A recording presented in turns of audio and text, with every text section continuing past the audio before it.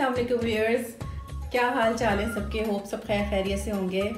आज हमारे घर जो हैं, पप्पू आई हैं तो उनके साथ ज़रा चिट चैट हो और लंच हो। कैसी हैं आप? अस्सलाम वालेकुम कैसे हैं आप लोग? ठीक ठाक हैं? हाँ जी, माशाल्लाह, मैं यहाँ पर आज छापा मारा है मैंने अपनी भाभीियों के घर। और मैंने देखा यहाँ पर खाना ज़बरदस्त किस्म का लंच तैयार रखा हुआ है। और कि मज़े मज़े के खाना वाइट राइस बैगन सैलेड फ्रूट माशाल्लाह, अभी हमला होने वाला है, बस। चलिए आए, सब साथ खाना खाते हैं, बिस्मिल्लाह करें।